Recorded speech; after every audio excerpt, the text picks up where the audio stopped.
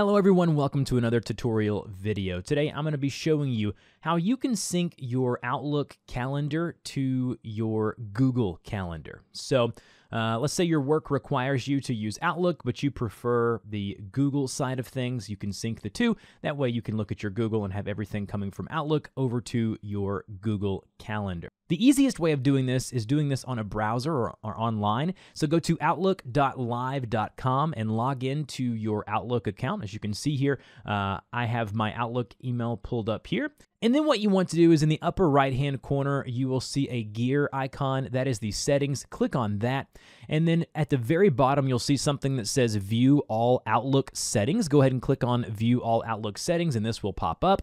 Click on Calendar, which is the third one down. And then here under Publish a Calendar, which will be the second option, select the drop down menu, go ahead and select the calendar that you want to share, and then you'll see two different permissions. It says Can View when I'm busy, Can View all details. If you want to share it completely uh, to edit and all of the things that I think you want to do, select Can View all details, which is the second option, and then click the blue Publish button right next to it.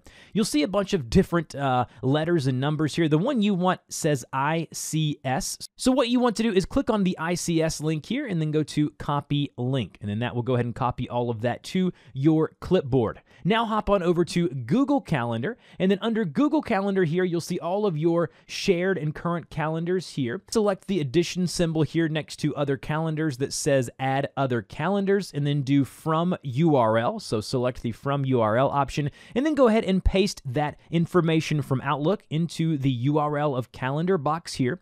And then if you want to make this calendar publicly accessible for your staff or other employees, you can do that like you normally would within Outlook by checking that box there, and then click the blue button that says Add Calendar. Once you've done that, it'll load and it'll say calendar added. And then if we go back from our settings here on Google Calendar, you can see it now has that big long text string from Outlook. And then what you'll want to do to rename a calendar, if the text from that calendar is too long, is go to where that calendar is, go to the three vertical dots here, and then go to settings on that specific calendar. And then you'll have the name come up at the very top. And then you can just rename that calendar to say Outlook or something similar so you know that is your Outlook calendar synced with your Google Calendar. And then once you're done, that should auto save. And as you can see, I now have an Outlook calendar being synced up with my Google Calendar. Thank you guys, as always, for watching. If this tutorial helped you out, please help me out by liking, sharing, and subscribing for more great guides just like this. And I will see you guys in the next video.